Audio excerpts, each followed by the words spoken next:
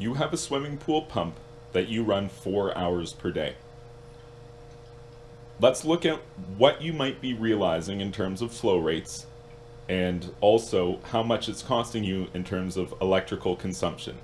Now, this is just an example, and the the actual numbers that you would experience on your swimming pool will be different than this, but this is just to give us a working number uh, that we can examine a little closer. So we're going to go up to maximum speed here, 3,450 RPM.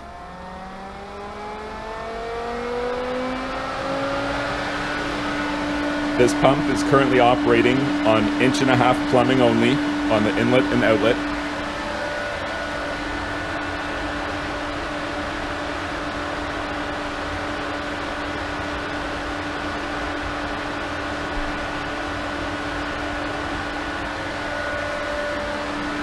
As you can see, the pump is drawing just under 10 amps momentarily and approximately 2.23 or 2.24 kilowatt hours. If we were to run this pump for an hour like this, then you would have used approximately 2.23 or 2.24 kilowatts of power. Now let's take a look at the flow rate here.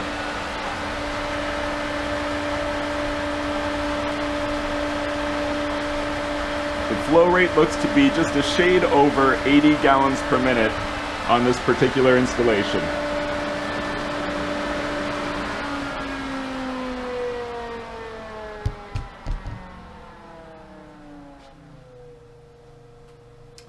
Okay, so we've learned some information from that already that we can examine. So let's say that that's what you did. You had a single speed pump and you just ran it four hours a day and you only ran it on full speed it's only got one speed, it's actually going to be less efficient than this pump that we were just examining here, but just for argument's sake, we'll just say that it's equal. So it was using 2.24 kilowatt hours of electricity, and you want to use that for four hours a day. So we would do 2.24 times four hours a day, and we have 8.96 and that's how much you're going to use in a 24 hour period. Like really you're only running it for four hours but every day you're going to be using 8.96 kilowatt hours of power. So what does that mean to you and your electricity bill? Well the nationwide average is 13 cents per kilowatt hour. So again we just take that 8.96 number times it by 13 cents and you have $1.16 approximately. And that's how much it costs you to run your pump for four hours.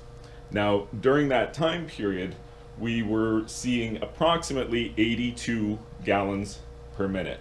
So we would take 82 gallons per minute and times that by 60 because there's 60 minutes in an hour. That gives us 4,920.